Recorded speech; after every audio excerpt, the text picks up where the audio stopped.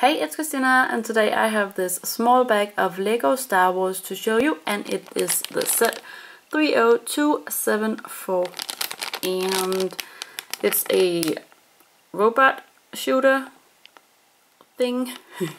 As you can hear, I don't see Star Wars that much, but my son does.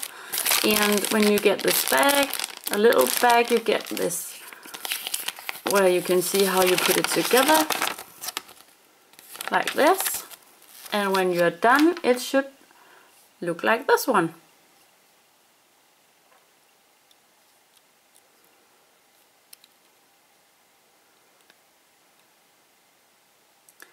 And it has a movable here so you can shoot down right ahead or up and you can move the legs up here and in the middle and down at the feet maybe. Nope, not at the feet.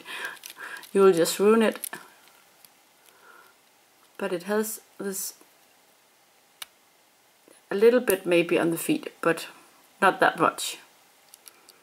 It will just fall apart. So don't do that. so here it is. Very, very awesome.